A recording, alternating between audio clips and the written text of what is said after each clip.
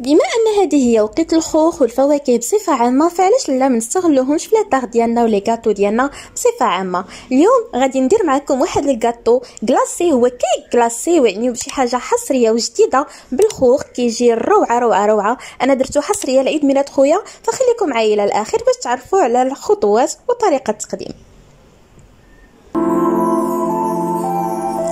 إذا في المقادير ديال الكيك غادي نحتاج لزوج البيضات.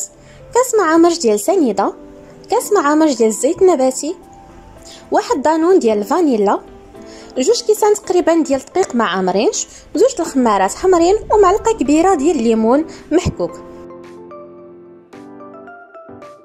اذا انايا في واحد الخلاط كهربائي غادي نوضع زوج البيضات ديالي غنوضع المكونات كاملة إلى الدقيق والخمارات غنخليهم هما الأخرين عاد غادي نخلطوهم. غنضيف عليهم كاس ديال سنيدة ديالي.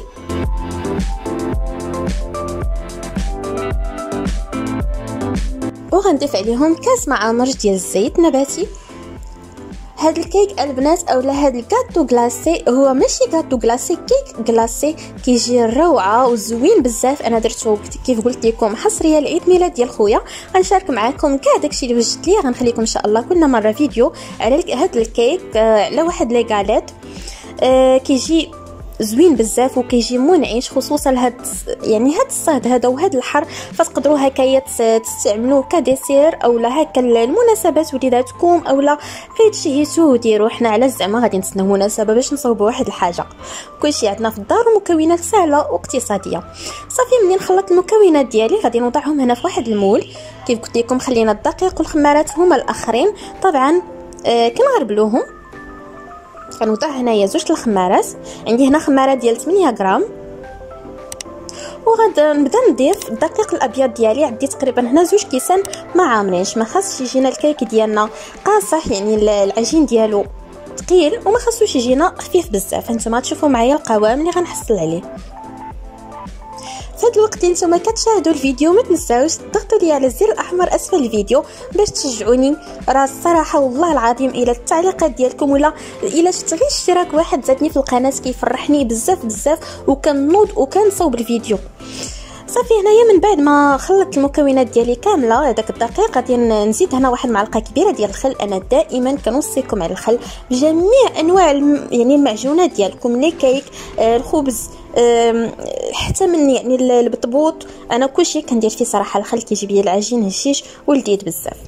صافي من بعد ما خلطتو شفتوا القوام ديالي اللي حصلت عليه كيف قلت لكم ما تجينيش الكيك ديالي خفيفة وما تجينيش ثقيله غادي نرفع المول ديالي آه، أولا يعني فاش كنت واضعه الكيك ديالي الفوق كيف كنوصيكم دائما باش يدخل داك الهواء مزيان الكيك ديالي.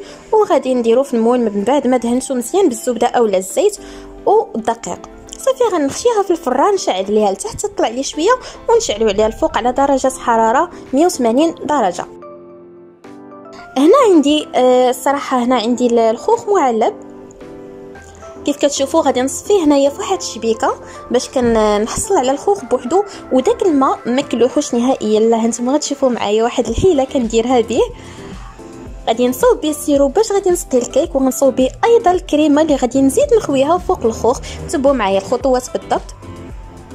صافي غادي كيف كتشوفوا حصلت عليه. غادي نقسموه على زوج تقريبا. غادي ندير شوية باش غادي نسقي الكيك ديالي. من بعد ما خرجتها من الفران هانتوما كتشوفوا. إذا جاتكم منفوخه شوية حاولوا شوية تأبليكيوها بيديكم تنزل لأن تجيني يعني كيك اللي غناكلها بوحدها مازال غنديروا عليها الطبقة الثانية. كيف قلت لكم كناخذ داك الماء اللي كان منقوع فيه الخوخ وغادي نبدأ هكا. كنخوي وكنتقب الكيك ديالي باش تشرب ليا مزيان. كتجيني فحال جانواز وشاربه ليا داك السيرو مزيان وكتجي في هذيك اللذة ديال الخوخ. روعة روعة روعة. كنتمنى إن شاء الله إنكم تجربوا هاد الحليوه هادي راه كتجي سهلة الصراحه راه دغيا كتحضر حتى المكونات ساهلين بالنسبة للخوخ راه تقدروا تعوضوه بأي فاكهة منقوعه عندكم. الفراولة الكرز أي حاجة يعني ما كاين حتى شي مشكل. أنا كان عندي الخوخ فراني درت الخوخ. والكمية ديال الخوخ كتبقى على حساب الحجم ديال الكيك ديالكم كبير اولا صغير.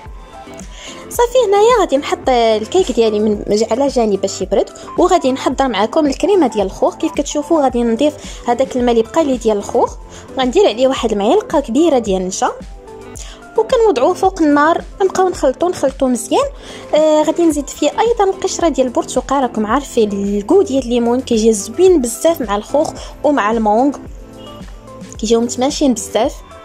صافي غنخلط نشا مزيان مع هذا الماء وغنضيف كيف قلت لكم تقريبا معلقه صغيره ديال البرتقال محكوك غير القشرة ديالو. صافي وغنخلط وغادي نوضعو على النار نبقاو نستمروا بالتحريك حتى يغلى لينا وغيعقد وغنحيدوه من على النار ونوضعوه على جانب باش يبرد.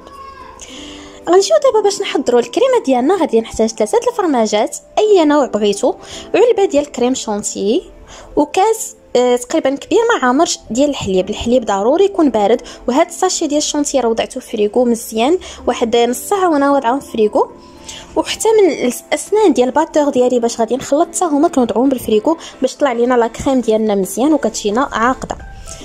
صافي كيف كتشوفوا فرغت داك المحتوى اللي عندي ديال الشونتيي وضفت عليه داك الحليب. وغنبدا هكا نخلط. آه كنسرع ال batteur ديالي لأقصى درجة عندنا. أنا عندي هنايا درجة خمسة. وكنبقاو هكايا نخلطو ونبقاو مستمرين في التحريك حتى كتبدا تطلع لينا الكيك آه عفوا الشانتيي ديالنا. تقريبا واحد خمسة دقائق وعلى حساب يعني السرعة ديال الخلاط ديالكم.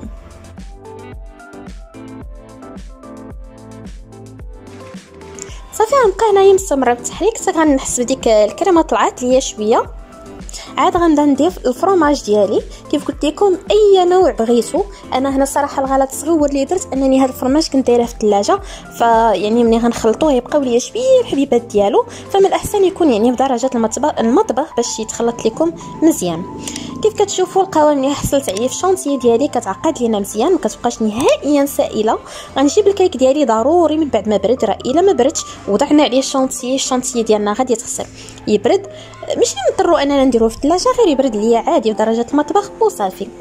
صافي غنخوي عليه ديك la crème chantilly ديالي. سمحوا لي البنات بالنسبة للفرماج إلا ما عندكمش اولا ما عندكمش مع الفرماج فراه تقدروا تعوضوه بياغور طبيعي مسوس حتى هو كيخلي واحد le goût زوين بزاف ديك الشونتيي ديالنا. صافي وكنبقى نسرحها هكا مزيان فوق الكيك ديالي هنا بمساعدة spatule صافي غنسرحوها مزيان وغادي تشوفوا معايا الخطوات الباقية. هانتوما كيف كتشوفوا معايا سرحت الكريمه ديالي مزيان غنخشيها دابا في الثلاجه نغطيوها ضروري باش ما تشمش ليا ريحة الثلاجه نهائيا. وغادي نوريكم الطبقة الأخيرة شنو غادي ندير ليها. صافي كيف كتشوفوا الكريمة ديالي بردات ديال الخوخ اللي كنا وضعنا النشا والماء ديال الخوخ فوق النار والقشرة ديال البرتقال. نتوما كتشوفوا معايا عقدات من بعد ما بردات كنحطها على جانب وكنجيب الخوخ ديالي اللي صفيناه كنجبد هكا يعني المول ديالي من الثلاجة من بعد ما شفت فراسو شوية غير خمسة دقائق إلا بغيتو توضعوه في المجمد عاد جبدوها باش تسرحوا فوق الطبقة الأخيرة ديال الخوخ.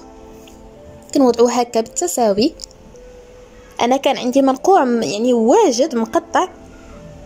راه تقدروا أيضا ديروه عادي غير هو ما يكونش قاصح لكم. بزاف باش تجيكم الحلوة ديالكم هي هذيك زوينة. صافي غنبقى نسرح نحاول ما نخلي حتى شي فراغ باش كتبقى لي ديك الطبقه ديال الخوخ الفوق زوينة. وباش كنشدو داك الخوخ هو داكشي علاش درت هذيك الكريمة اللي بالماء المنقوع ديال الخوخ باش كتبقى لينا مأبليكية ديك الطبقة ديال الخوخ وما كيتشتتش لينا ملي كنبغيو نقطعو الحليوة ديالنا. هانتوما كتشوفوا معايا صافي سرحت ديك الطبقة كاملة ديال الخوخ. دابا غنجيب ديك الكريمة ديالي اللي صوبنا ديال الخوخ. من بعد ما بردات ضروري. راه الا بقات سخونة الشونتيي غادي تخسر أنا كنعاود نكررها ضروري. كلشي يكون عندنا بارد بدرجة حرارة المطبخ. صافي كنبدا ناخذ هذيك لا كريم وكنوزعها هكا فوق الخوخ. ونحاولوا بشوية بشوية كنبقاو معاها تنعمروا جميع الفراغات. ونحاولوا أن دوك الخوخ كامل نغطيوه باش كيتشد لينا فوق لا كريم. باش منين نقطعوا الحليوة ديالنا ومنين نحيدوا المول كيبقى مشدود لينا ديك الخوخ الفوق وراه كتجي هاد الحليوة زوينة بزاف البنات. ثقوا بيا كنتمنى إن شاء الله إنكم تجربوها وتخليو لي التعليقات ديالكم والآراء ديالكم آه كيف جاتكم؟ وتخليو لي إلا عجبكم الفيديو تخليو لي الآراء ديالكم راه كيشجعوني بزاف وكيخلوني دائما متحمسة أنني نبقى ديما نعطيكم هكا وصفات ويعني الجديد.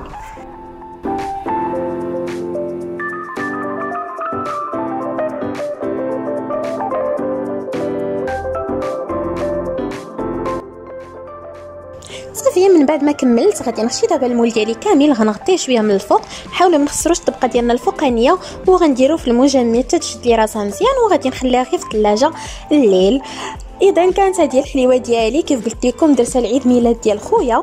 راه كتجي زوينة بزاف والله العظيم ما حماقوا عليها الدار. كنتمنى إن شاء الله إنكم تجربوها وتخليوا لي الآراء ديالكم. غنشارك معكم إن شاء الله أيضا هاد ال galette galette ديال الزمان مكونات جد اقتصادية كيجي زوين بزاف احسن ديال les pâtisseries وكيدوب في الفم. كنتمنى إن شاء الله نخليكم على خير. في فيديو قادم إن شاء الله.